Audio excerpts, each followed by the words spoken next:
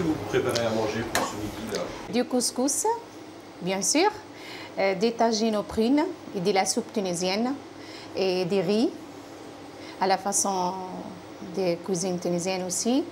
Et nous, on fait, euh, pour offrir à nos clients, on fait toujours des, la soupe tunisienne offerte avant, avant le repas. Dites-moi ce qui vous a donné envie d'ouvrir ce restaurant. Pourquoi ouvrir un restaurant? Eh ben, il faut travailler parce que j'ai quatre enfants et je n'ai pas de diplôme en France. Tous mes diplômes euh, ils sont de la Tunisie, donc euh, je n'ai pas fini mes études.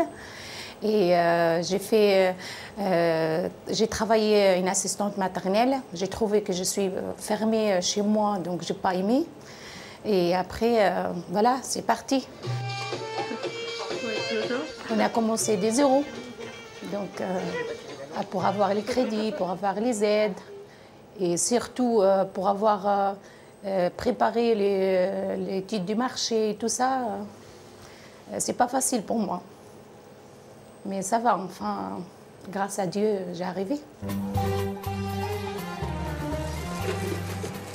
Au début, je, perds parce que c'était un engagement et tout. Et après, après que j'ai vu mes clients et tout, j'étais très contente.